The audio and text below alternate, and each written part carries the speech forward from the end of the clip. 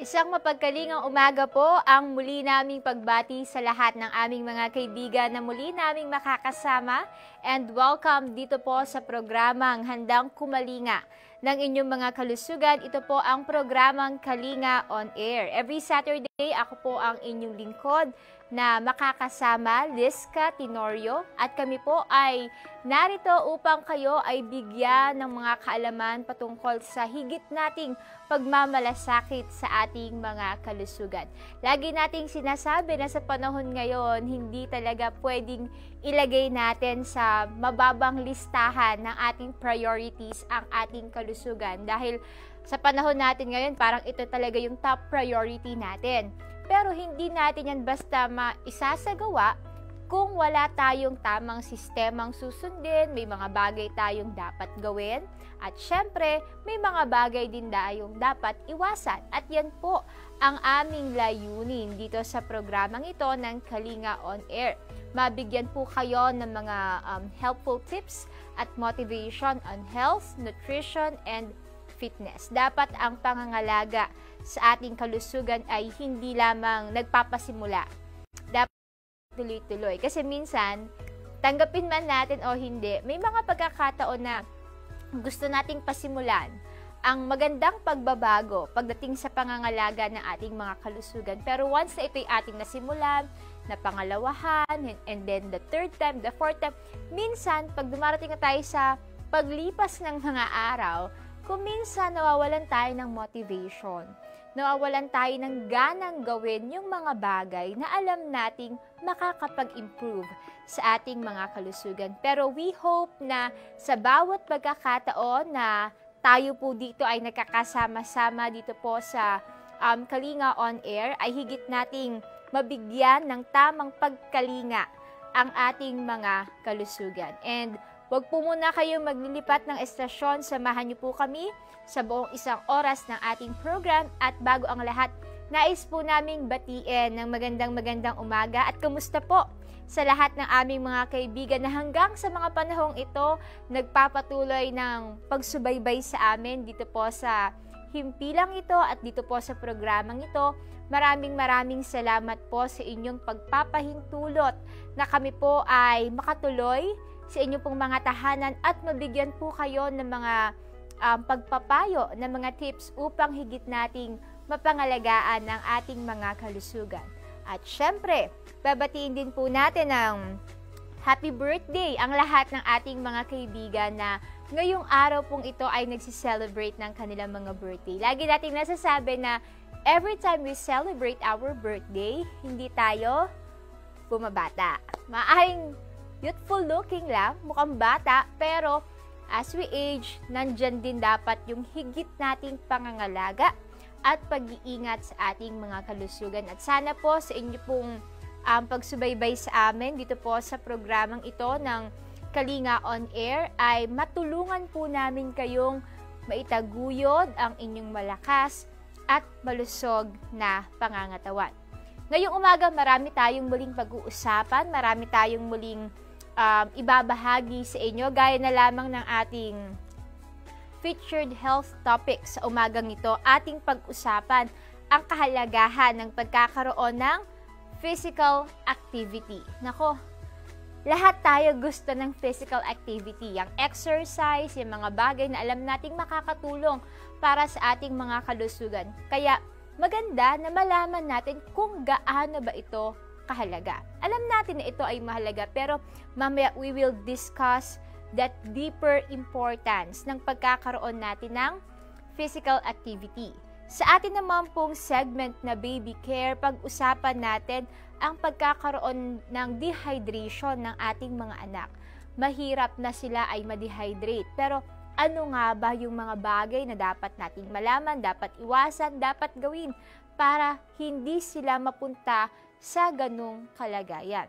At sa atin namang ma-beauty tips, ating pag-uusapan ang mga skincare tips ngayong panahon ng pandemic. Nako, maraming marami tayong mga new normal na ginagawa.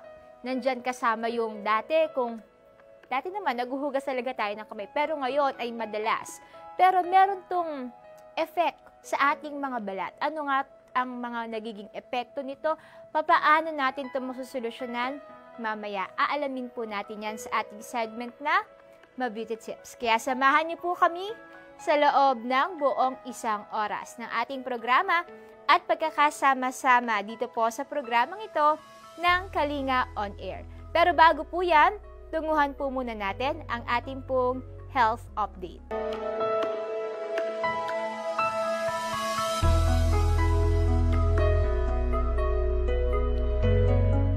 Sa ating health update ngayong umagang ito, sa pamamagitan daw ng ating mga mata ay maaari nang matukoy ang panganib ng stroke. Ayon sa mga research, ang tinatawag na retinal imaging ay maaaring makatulong upang malaman kung ang isang tao ay maaaring ma-develop ang stroke.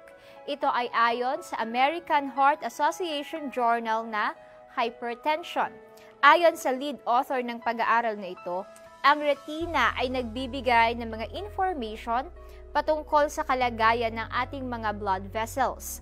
Ang retinal imaging ay isang non-invasive at murang paraan para ma-examine yung mga blood vessels sa ating retina. Sa buong mundo, ang high blood pressure ay ang single most um, important risk factor ng stroke. Pero, pwede pa rin daw itong matukoy kung ang mga high blood pressure patients ay maaaring ma-develop ang stroke. Sinubaybayan ng mga researchers ang stroke occurrence ng 2,907 participants or patients sa loob ng labing tatlong taon na may high blood pressure na hindi nakaranas ng stroke. At baseline, each had photographs taken ng kanilang retina. Ito yung light-sensitive layer ng cells sa likod ng eyeball. Ayon sa mga researchers, nagkaroon sila ng adjustment for several stroke risk factors gaya ng age, ng kasarian, ng lahi, maging yung kanilang um, cholesterol levels, yung blood sugar, yung BMI o yung body mass index, maging yung paninigarilyo at maging yung blood pressure readings. Kanilang napag-alaman na yung panganib ng pagkakaroon ng stroke ay 35% na mas mataas sa mga nakakaranas ng tinatawag na mild hypertensive retinopathy at 137 higher percent naman sa mga may moderate or severe hypertensive retinopathy. Kahit daw sa mga pasyente na nasa um, process ng medication at nagsisikap na magkaroon ng good blood pressure control, ang panganib ng pagkakaroon ng blood clot ay nasa 96% na mas mataas sa mga nakakaranas ng mild hypertensive retinopathy. 198% higher naman sa mga may moderate or severe retinopathy. However, ayon sa mga researchers ng pag-aaral na ito, higit pang nangangailangan ng maraming pagsusuri para magkaroon ng confirmation kung yung tinatawag na retinal imaging ay talaga bang makatutulong sa pagbibigay ng additional information patungkol sa panganib ng stroke sa mga nakakaranas ng pagtaas ng blood pressure. Magbabalik ang programang ito makalipas ang ilang mga mahalagang paalaala. Ever wanted to know more about the Bible? What could be better than unraveling the mysteries of this literary genius in the most fun, exciting, and creative ways? Gain more knowledge about the Bible's one unified story, giving divine wisdom to our modern world check out the Bible Project only here at Life TV. Your life, your TV. Get the latest technology news, articles, and op eds. A look at the innovations and technologies that are shaping the future and changing the world. Wow! HD technology. Only here at Live TV. Your life, your TV. What is Awesome Eats? It's a cooking show. It's a show where I get high on spicy food. It's a show where I suffer from spicy food. It's where I showcase that instant ramen is life. Hey, look how much I have. It's an eating show with friends. I tried to throw up and nothing came out. It's a challenge show. And who can eat more meat wins this challenge. It's also a travel show. It's a show where I do pretty stupid things. It's a show where we experiment. Just drips off. but all in all, guys, Awesome Eats is a place to have fun awesome eats. Only here at Live TV. Your life, your TV.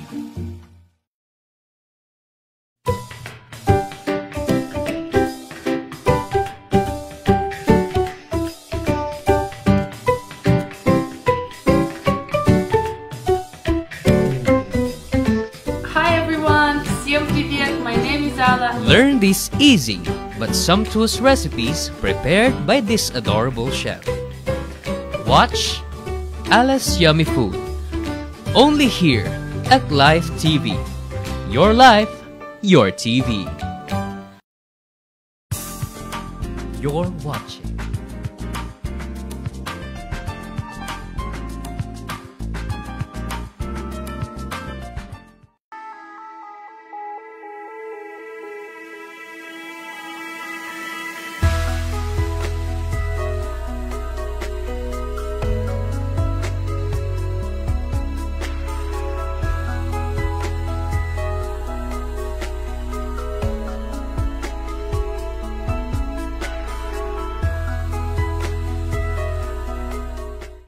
Patuloy na sumusubaybay sa amin dito sa programang ito ng Kalinga On Air at ako pa rin ang inyong lingkod na nakakasama Liska Tenorio. Gaya ng palagian nating ginagawa dito sa ating programa, kami po ay patuloy na nagmamalasakit patungkol sa pagtataguyod ng ating mga kalusugan. Kaya ngayong umaga, panibagong usaping pangkalusugan ang ating pag-uusapan.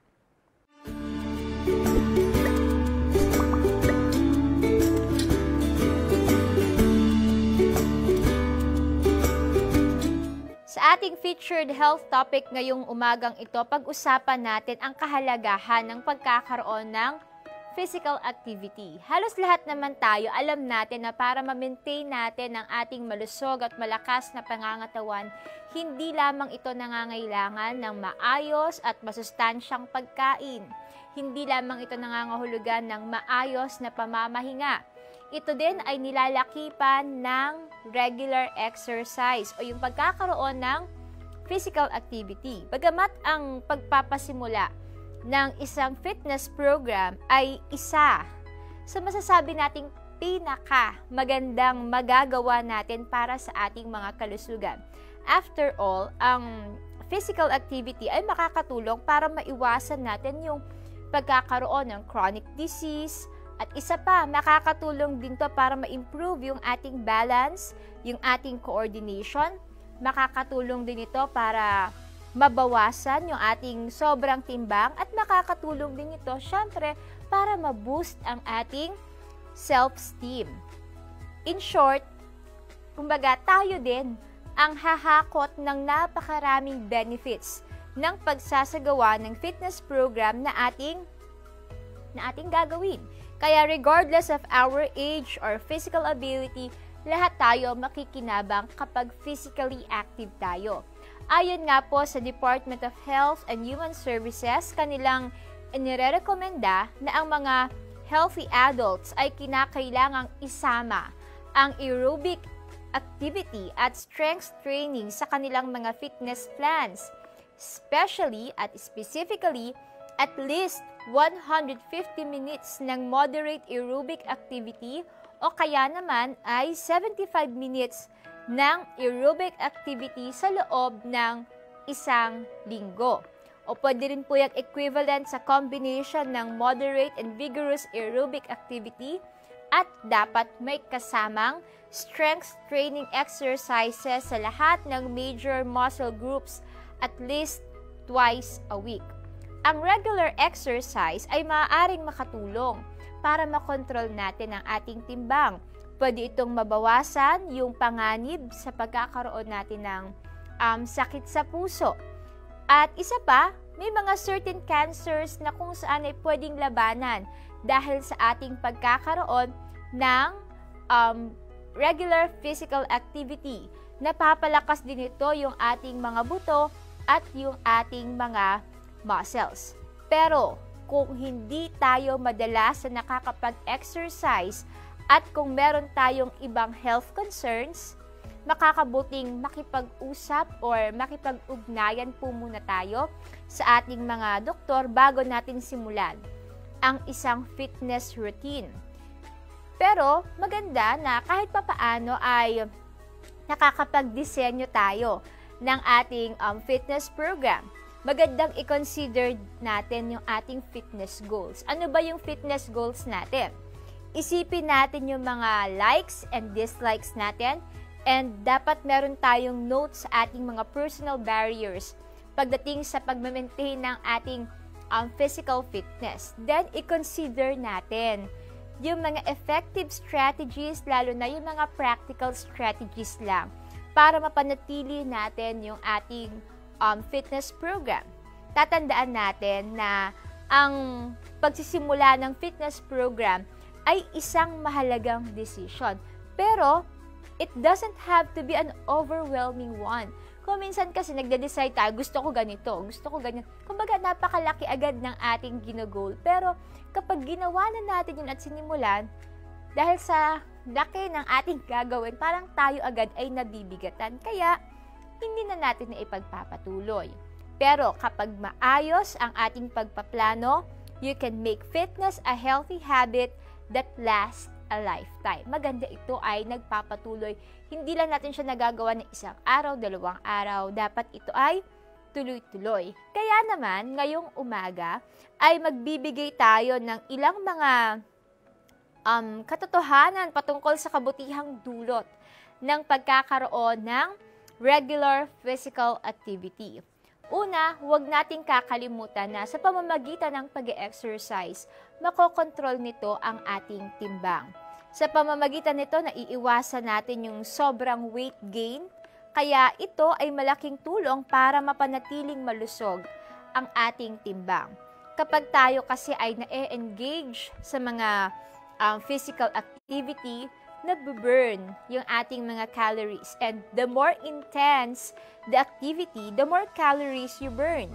Kaya bagamat minsan ay naikakatwiran ng ilan na wala silang panahon para pumunta sa gym, wala silang time mag-exercise, pero hindi ito dahilan para hindi na tayo makapagsagawa ng exercise. Any amount of activity is better than none at all. Maganda kahit pa paano, may paunti-unti kang nagagawa kaysa sa totally wala. ba? Diba?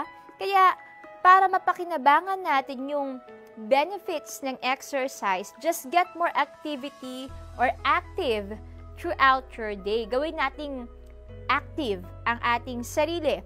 Halimbawa, ibis na gumamit ng elevator, gumamit tayo ng hagdan. Lalo ngayon sa panahon natin, sa, sa, sa kalsada, nakikita natin yan, mas marami ngayon nang nagbabike. Ano yan? It's one way of saying na bagamat tipid yan, pero nakakapag, nakakatulong din yan sa ating um, physical health. Kumbaga, ang susi dito, consistency. Dapat lagi natin itong nagagawa. Second, exercise combats health conditions and diseases. Tayo ba minsan nababahala dahil meron tayong For example, meron tayong um, sakit sa puso or gusto nating maiwasan yung pagkakaroon ng um, mataas na presyon ng dugo. Ano man ang ating kasalukuyang timbang, yung ating pagiging active ay makakapag-boost ng ating tinatawag na high density lipoprotein o yung HDL cholesterol na ito yung good cholesterol at nakakapagpababa naman ng unhealthy triglycerides. Tayo ba ay nag-iisip ng mga bagay paano tayo magiging healthy? Nako, isa ang exercise para yan ay ating ma-achieve. Kasi ang regular exercise, tumutulong ito para maiwasan, para ma-manage ang ating napakaraming health problems and concerns. Kasama na dyan ng stroke, kasama na dyan yung metabolic syndrome, yung um, high blood pressure, type 2 diabetes, yung depression. Minsan talaga tayo ay nakakaranas ng depression dahil sa ating kalagayan. Anxiety, isa pa yan. iba't ibang klase ng cancer, arthritis, at marami pang iba. Lahat yan pwedeng matulungan ng exercise. Kaya, it can also help improve cognitive function at makakatulong ito para mabawasan or mapababa yung panganib natin mula sa kamatayan from all diseases and from all causes. Isa pa, ang exercise nakakapag-improve ng ating mood. Just imagine kapag tayo nag-exercise, pati mood natin ay naaapektuhan. Nangangailangan tayo minsan kasi ng tinatawag na um, emotional lift. Ang isang gym session o kaya yung simpleng paglalakad lamang makakatulong para ma-improve ang ating mood. Ang physical activity ay nag stimulate ng iba't ibang brain chemicals na nagre-resulta sa pagiging masayahin, mas relax, at less anxious tayo. Kumbaga, hindi natin minsan yan namamalayan, pero yan talaga yung nagiging good effect ng exercise. Kaya, nagiging mas mabuti, mas nagiging maayos yung ating pakiramdam about our appearance kapag tayo ay nakakapag-exercise ng regular which can boost our confidence at nakakapag-improve din ng ating self-esteem. Isa pa, nabuboost din ang energy natin kapag tayo ay nag exercise Ang regular physical activity nakakapag-improve ito ng ating muscle strength at nakapag-boost ng ating endurance. Ang exercise kasi nagdi-deliver through exercise, nakakapag-deliver ng oxygen and nutrients sa ating mga tissues na tumutulong sa ating cardiovascular system to work more efficiently. Tatandaan din natin na kapag ang ating puso, kapag ang ating baga ay nagkaroon ng health improvement, mas maraming energy ang ating magagamit para magawa yung mga araw-araw nating trabaho.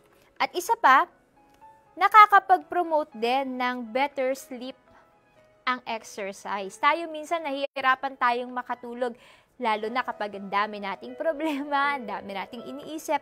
Ang regular physical activity, nakakatulong ito para mas mabilis tayong makatulog at isa pa, para maging maayos din ang ating pagtulog at maging mahimbing din ang ating pagtulog. Pero paalala ng ating mga health experts, huwag na masyado tayong mag exercise bago matulog dahil baka mahirapan naman tayong antukin. Isa pa, exercise can be fun and social. Ang exercise at physical activity, pwede, yang, na, pwede nating i-convert yan sa enjoyment Nagbibigay ito ng pagkakaroon or pagkakataon para tayo ay mag-unwind, mag-enjoy sa ating paligid, or simply engage in activities that make you happy. Dahil sa pamamagitan ng physical activity, mas nagiging connected tayo sa ating pamilya at sa ating mga kaibigan in a social fun setting. Bagamat sa ating panahon ngayon, kung mapapansin po natin, iba ngayon ang itsura ng mga nag exercise kahit yung mga nagja-jogging sa labas. Hindi pwedeng walang face mask. But still, you can do um, solution para hindi mahadlangan ang iyong pagsasagawa ng healthy routine, ng pagkakaroon ng um, physical activity or yung pag exercise Nasa sa ating pagsisikap ang lahat para tayo ay magkaroon ng healthy body. Kaya we must find physical activity na ating ma-enjoy at gawin lang natin. Tatandaan po natin, we must spread our activities sa buong linggo. Okay? Meron tayong maraming araw sa loob ng isang linggo. Kailangan meron tayong schedule na susundin. Kung gusto nating ma-improve ang ating timbang, specific fitness goals, or get even more benefits, kinakailangan natin ng moderate aerobic activity to 300 minutes or more sa isang linggo. Pero wag din natin kakalimutan na kumonsulta sa ating mga doktor bago simulan ang isang exercise program, lalo na kung meron tayong um, concerns patungkol sa ating um, fitness or kung mahabang panahon na hindi tayo naging active. Kung meron kayong chronic health problems gaya ng sakit sa puso, gaya ng diabetes or gaya ng arthritis, magandang kumonsulta muna tayo sa ating mga doktor bago simulan ang isang fitness program. Magbabalik ang programang ito makalipas ang ilang mga mahalagang paalaala. Pabigat lang kayo sa buhay ko! Malas kayo! Total malas lang naman kami sa buhay mo! Mas mabuti pang maghiwalay na lang tayo! Hoy, hindi pa tayo tapos! Tapos na ako sa'yo! Tapos na! Sa kabila ng mga pagtitiis, ay may kaginhawahan. Mas maayos ang buhay namin ngayon kisa noon. Dahil sa aming pananampalataya.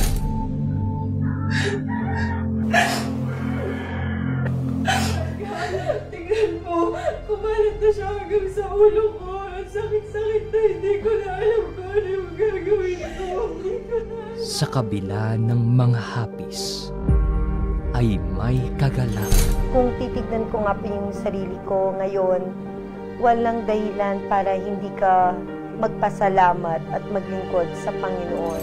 Sa mga unang pinapangasiwaan o sinasamahan po mga sambahan, ay mayroon akong hinahanap-hanap na iba. Yung kauhawan sa presensya ng Panginoon. Sa kabila ng mga suliranin, ay may kalutasan.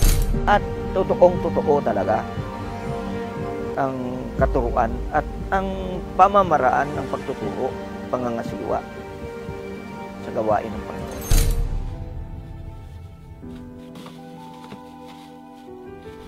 Pag gusto mong tumira, sabihin mo lang sa amin.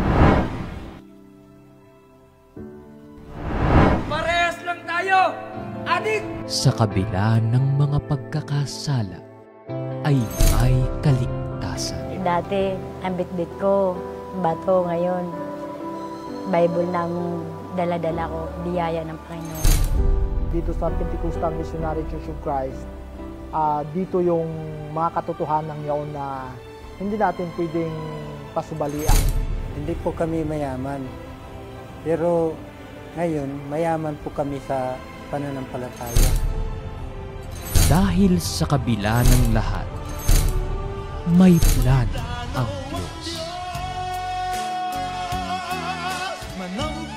Dito lang sa Live TV. Your life, your TV.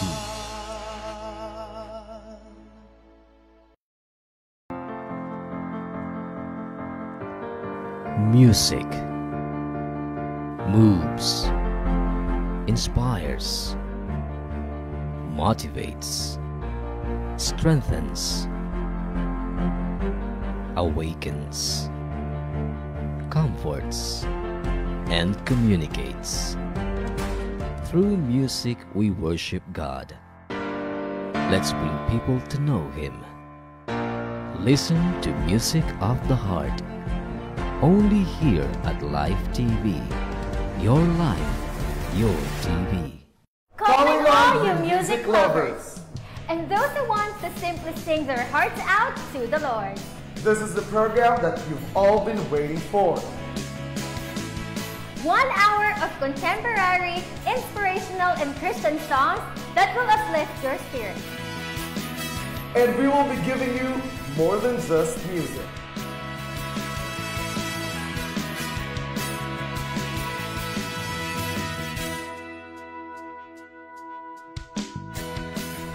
So watch out and join us as we express our faith to God through song. Hi, I'm Brother Jumbo. And I am Sister Rachel. And this is Chords of Mercy, where you hear the power of God's love through music.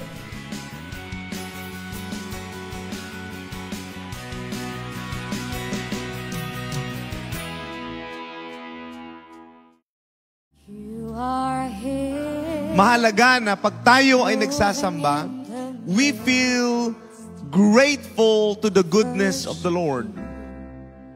This is the time to stand up together. All the believers of the Lord, all the children of God has got to stand up in the midst of adversity, in the midst of these dark days. Mga kapatid, ang ating panahon ay masama rin. Maraming pumipigil sa ating paglilingkod sa Panginoon. Pero hindi dapat tayo tumigil. When you are free, brothers and sisters, go back to God.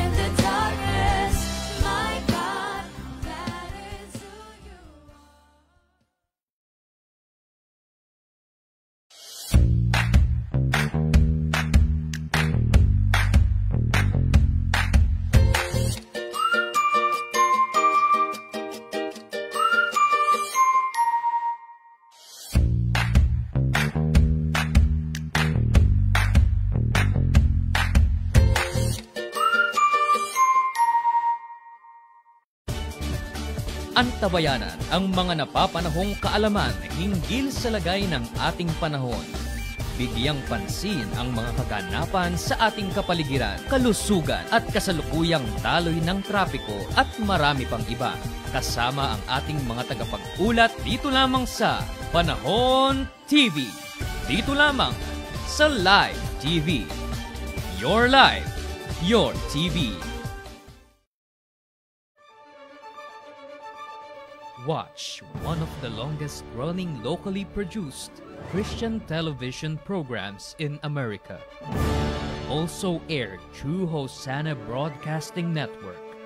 Join the thousands of viewers from North America, Europe, and the Middle East who are being blessed by this program. beauty of heaven. Hear the unadulterated Word of God through the dynamic and anointed preaching of Bishop Jonathan Feryon, head pastor of the Pentecostal Missionary Church of Christ Fort Watch in South Bay, California. Surer Word at Live TV.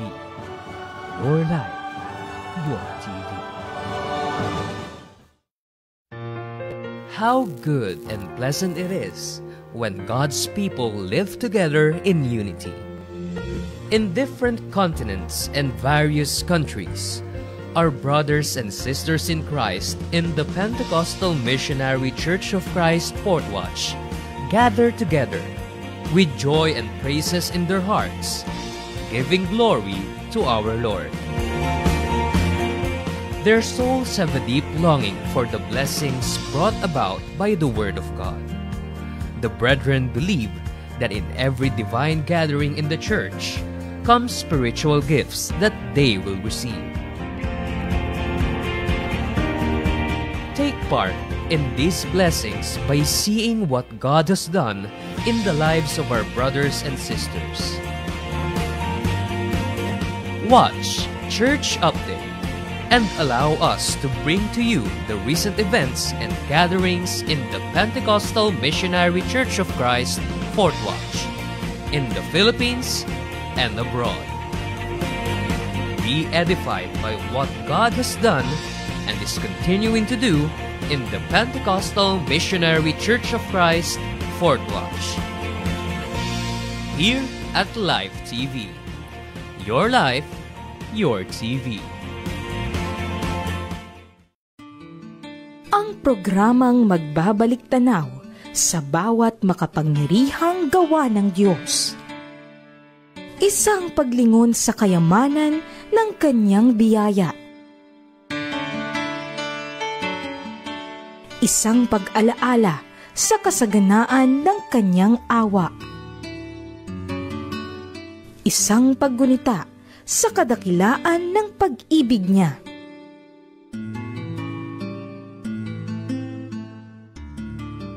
Sapagkat maraming taon man ang dumaan, ang mga patutuo patungkol sa Panginoon ay walang hanggan. Walang hanggan ng pag-ibig mo, Jesus. Kaban ng Patutuo Classics.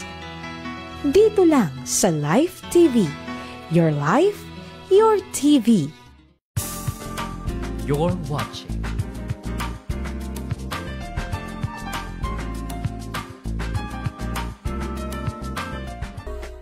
Kayo patuloy na sumusubaybay sa amin dito po sa programang Handang Kumalinga ng inyong mga kalusugan. Ito ang programang Kalinga on Air. At ako pa rin ang inyong lingkod na nakakasama, Liska Tenorio. Kanina pinag-uusapan natin kung gaano nga ba kahalaga ang pagiging active. Kung paano nga ba tayo magkakaroon ng regular physical activity, ano ang maidudulot nito sa ating kalusugan. Gaya ng nasabi natin kanina, madalas nating naririnig na kasama lagi sa prescription ng ating mga doktor na kinakailangan tayo ay maging fit and healthy. Pero hindi natin yan magagawa kung hindi tayo magbibigay daan sa pagkakaroon ng physical activity. Gaya na nasabi natin, ang exercise ay napakarami ang maitutulong sa ating kalusugan. Hindi lamang nito matutulungang mabawasan ng ating timbang, ito din ay makakatulong para labanan yung iba nating mga um, health conditions at yung mga sakit na maaaring um, nagpapahirap sa atin.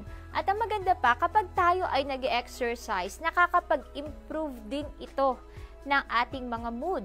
Tumataas din ang ating self-esteem.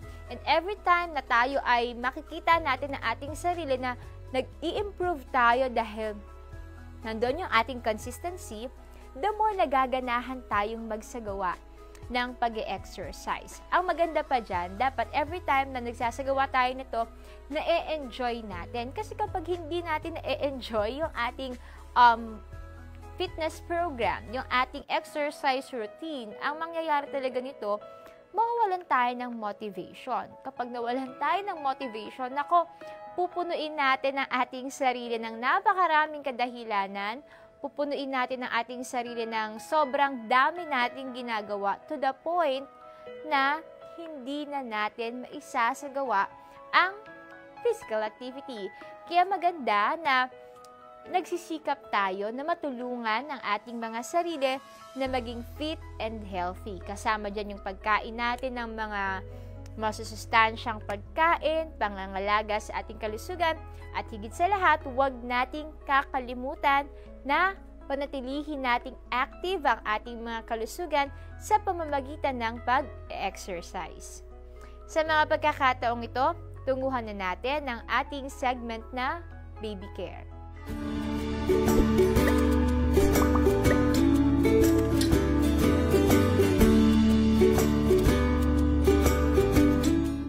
Sa ating segment na Baby Care, pag-usapan natin kung ano nga ba ang mga dapat nating gawin para maiwasan ang dehydration ng ating mga babies.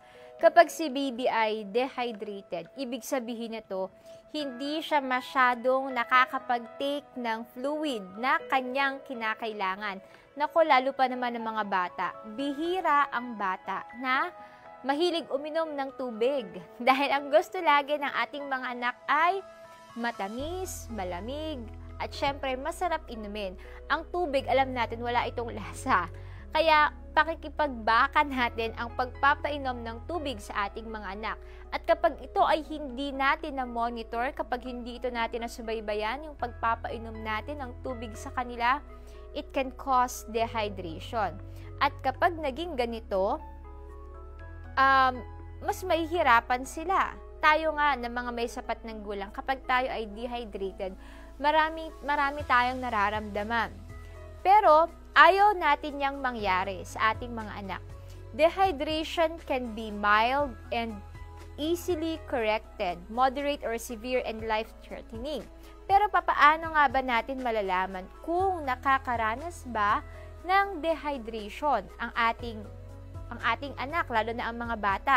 May mga senyales or may mga palatandaan para malaman kung ang isang bata ay nakakaranas ng dehydration at dapat tayo bilang mga magulang, we must very um, aware of these signs. Halimbawa, kung higit pa sa anim na oras ay hindi pa din basa ang kanyang diaper. Aba, some, may something wrong na po dyan. Isa pa, kung ka, yung kanyang urine ay parang darker at yung kanyang smell ay stronger than usual. Isa pa, parang nahihilo siya. Yan, medyo baka dehydrated po siya. Kung nakikita po natin yung kanyang lips ay nagda-dry, kulang po yan sa tubig. At kapag siya ay umiiyak pero walang luha. Kaya papaano natin maiiwasan ang dehydration sa ating mga anak? Make sure our baby is drinking plenty of fluids. lalo na kapag mainit ang panahon o kaya kapag may sakit ang ating anak. Pero higit ding makakabuti kung may patingin natin agad sa ating mga doktor, sa ating mga pediatrician para malaman kung ano ang dapat nating gawin. Paalala ng ating mga health experts, huwag silang bibigyan ng mga um, carbonated sodas dahil ito ay makakasama sa kanilang ngipin at maging sa kanilang kalusugan. Yung mga juice ay hindi rin inire-recommend sa mga babies under um, 12 months. Huwag ding ipagwawalang bahala kapag si baby ay nakakaranas ng fever. Halimbawa, dapat bigyan natin siya ng mas maraming fluids ng maraming um, liquids. Kung nahihirapan siyang lumunok, pwede tayong magtanong sa ating mga doktor kung pwede ba silang bigyan ng mga pain medication para makatulong sa ating mga anak na maibsan yung kanilang discomfort na nararanasan.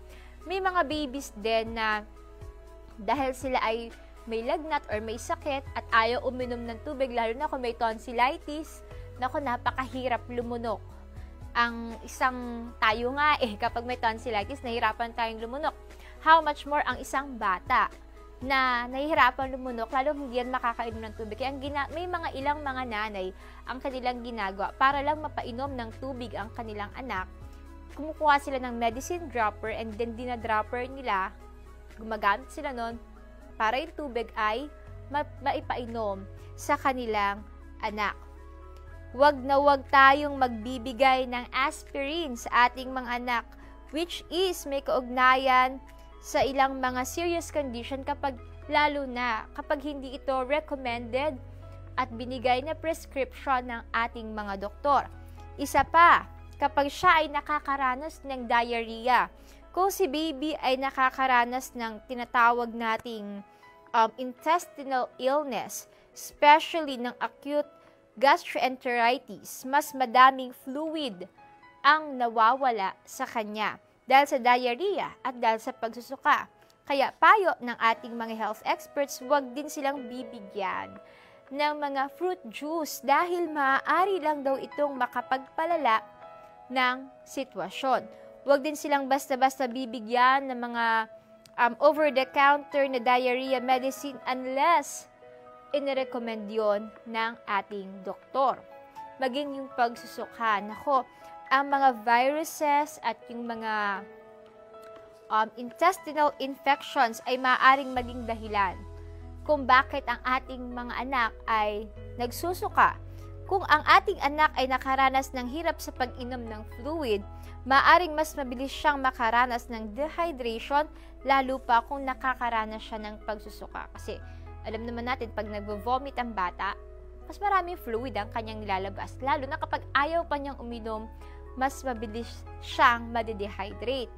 Isa pa, kapag ayaw uminom ng ating anak, ito yung sinasabi natin, kung minsan, kaya ayaw uminom ng bata, sabi natin kanina, baka may tonsillitis or may sore throat, may sore throat. Kaya baka nakakaranas din sila, maaari, ng hand, foot, and mouth disease na maaaring pinagmumulan ng pananakit ng kanilang lalamunan every time na sila ay lumulunok. Alam niyo, maaaring gusto nilang uminom, pero dahil ganun nga yung sakit na nararamdaman nila, umiiyak na lang sila dahil sa pain na kanilang nararamdaman. Kaya makabubuting kumonsulta sa inyong mga doktor upang mapayuhan nila kayo ng mga bagay na dapat gawin. Pero huwag pa din kakalimutan na painumin ng liquid ang ating mga anak. Kahit na small amount lamang pero dapat gawin itong madalas. Tayo bilang mga magulang, lagi tayong may bahagi sa ating mga anak, lalo na kapag sila nakakaranas ng mga sakit.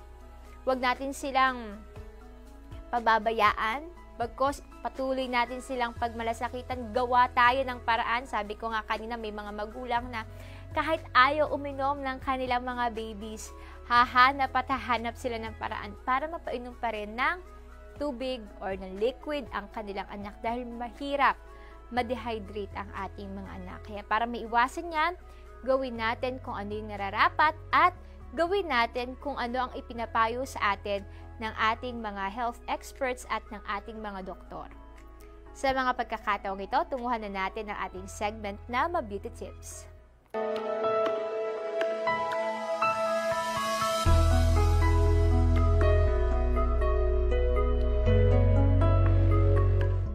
Sa ating segment na Ma-Beauty Tips, ngayong umagang ito, pag-usapan natin kung papaano nga ba natin mapapanatili ang ating skincare kahit na tayo ay nasa panahon ng pandemic. Ang paghuhugas ng kamay, ang pagsusuot ng face mask, yan ay hindi na maaalis sa atin. Parang normal na normal na sa atin. Kaya laging ipinapaalala sa atin para makaiwas tayo sa COVID-19, maghugas ng kamay, mag-face mask, maghugas ng kamay, mag-face mask, mag-face shield. Pero ito rin ay maaaring maging dahilan ng pagiging dry ng ating balat at pwede ring pagmulan ng skin rashes. Kaya ngayong umaga, ito ang aming isi-share sa inyo sa ating mga beauty tips. Papaano nga ba natin mapapanatiling healthy ang ating balat kahit na panahon ng pandemic. Karamihan kasi sa atin, ang paghuhugas ng kamay ay madalas na nating ginagawa. O kaya kapag walang available na tubig at sabon, um, alcohol ang ating ginagamit or yung mga sanitizers. Yan yung mga nakasanayan na nating gawin. Hindi rin pwedeng walang face mask. Hindi rin pwedeng walang face shield. Kapag tayo ay lalabas or pupunta sa trabaho, dapat suot natin ito. At hindi lang natin ito suot. Suot natin ito for a very long period of time. Napakatagal. Sa loob ng maraming oras, suot-suot natin ito. Ang mga ito kasi ay susi para mabawasan yung pagkalat ng virus. Pero gaya nga ng sinabi ko kanina, pwede naman it, pwede rin itong pagmulan ng irritation at pagka-damage ng ating balat. Ang pagsasagawa ng ilang mga um, skin changes sa ating kamay at mukha ay makakatulong para ma-counteract yung ganitong mga effects. At ngayong umaga, yan po ang aming ibabahagi sa inyo. Isa kasi sa pinaka-importanting bagay para tayo ay maprotektahan laban sa COVID-19 ay panatilihin nating malinis ang ating kamay.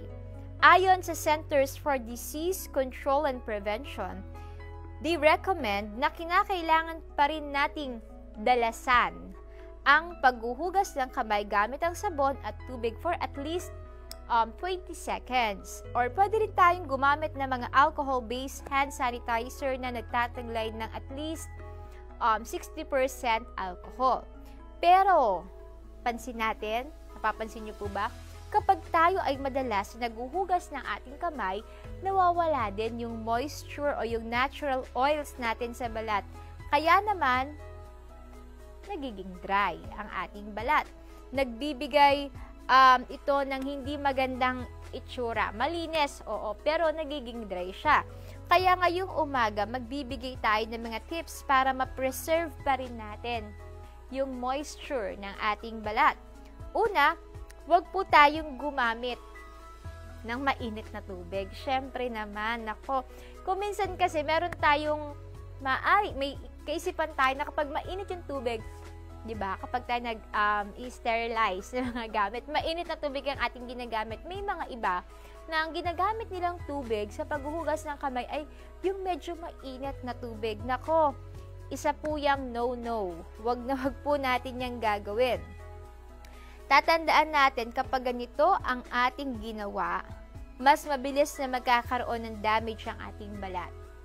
Pwede tayong gumamit ng cool or lukewarm water with soap para hugasan ang ating kamay. Pero wag naman po yung mainit. Kasi minsan naisip natin, pag mainit yung tubig, mawawala yung germs, mawawala yung um, bacteria. Hindi po. Madadamage po ang ating balat. Isa pa, iwasan din natin yung mga antibacterial cleansers. Dahil hindi ito sagot sa pag-iwas sa infectious disease. Ito ay nagtataglay ng chemicals gaya ng fragrance na pwedeng makapagpa-irritate din ng ating balat. Isa pa, magsusuot tayo ng mga gloves kapag tayo ay maglilinis, lalo na kapag gumagamit tayo ng mga um, disinfectant para maprotektahan ang ating balat. Yung mga disinfectants kasi na ginagamit natin sa paglilinis ng ating mga bahay ay effective talaga yan. Laban sa germs. Pero meron din itong content na pwedeng makasama sa ating kamay, 'di ba? Just imagine napakatapang ng amoy niyan. At kung minsan for sure na i-experience niya yan na kapag wala tayong suot na guantes or gloves, kapag yan nadikit sa ating balat, parang minsan ang init sa balat o kaya parang andulas pa rin niya kahit na anlawan mo na. Magandang bagay din na maging paalala sa atin na tayo ay huwag makakalimot mag-moisturize. Pagkatapos maghugas ng kamay, patuyuin ang ating kamay and then mag-apply ng moisturizer. Kung ang ating kamay ay parang nararamdaman ninyo na dry pa din kahit na naglagay na kayo ng moisturizer, mag-apply pa din tayo. Okay, maawa tayo sa ating mga kamay dahil lagi siyang nahugasan at naaalkoholan. Gumamit din tayo ng moisturizer na hypoallergenic at hindi masyadong matapang ang amoy na pwedeng makapagpa-irritate ng ating balat. Paalala din na mas maganda kung gagawin daw nating handy ang ating mga moisturizer. Kumbaga yung madali siyang makita, easy access ba siya, kumbaga. Yung hindi mo na siya hahanapin pa. Nandyan lang siya para yung um, ay a-apply natin. Isa pa, paalala din po natin, pwede rin yung combination ng moisturizer. Kung minsan kasi yung combination ng moisturizer ay mas maganda. Yung lightweight creams ay karaniwang nagdadagdag ng moisture sa outer layer ng balat. Pwede nating i-check yung ingredients ng mga moisturizer na ating bibilhin, na ating gagamitin, and make sure na meron itong urea or glycerin or hyaluronic acid. Para iseal yung moisture nito, sundan po ng heavier moisturizer na mag-iiwas ng water loss. Yung mga oil-containing creams o yung halimbawa na lamang yung petroleum jelly, maganda rin yan sa balat. Dahil yung heavier moisturizers, ano yan eh, greasy ang kanyang texture. May mga ilan na naglalagay nito overnight and then ibinabalot nila ng tela yung kanilang kamay matapos maglagay nito. Parang overnight treatment siya. At panghuli, wag nating um, babaliwalain yung early skin protection natin. Kahit na ang ating mga kamay ay hindi natin nakikitang dry, or parang sinasabi natin, okay pa yung kamay ko, hindi naman siya ganun ka-dry. Nako, make sure na ito pa rin ay ating na moisturize araw-araw. Okay? Ang pag-iwas sa skin irritation ay mas effective kaysa bigyan ng tamang lunas ang kalagayan ng ating balat dahil ito ay dry na or hindi na siya healthy. Tatandaan po natin kahit ngayong panahon ng pandemic, bukod sa pag-iwas natin sa COVID, sa pag-iwas natin sa mga virus na nandyan sa ating paligid, huwag nating kakalimutang pangalagaan pa rin ang ating kalusugan at ang ating balat. Okay? Maraming maraming salamat po sa inyong ginawang pagsama sa amin sa buong oras ng ating program and we hope na muli po kaming nakapagbigay ng additional information para mapangalagaan natin ang ating mga kalusugan. Lagi nating tatandaan na pangalagaan at patuloy nating pagmalasakitan ng ating mga sarili. Ito po ang programang Kalinga on Air at ako po ang inyong lingkod na nakasama Rizka Tenorio. Magandang umaga Life TV. Your life, your TV.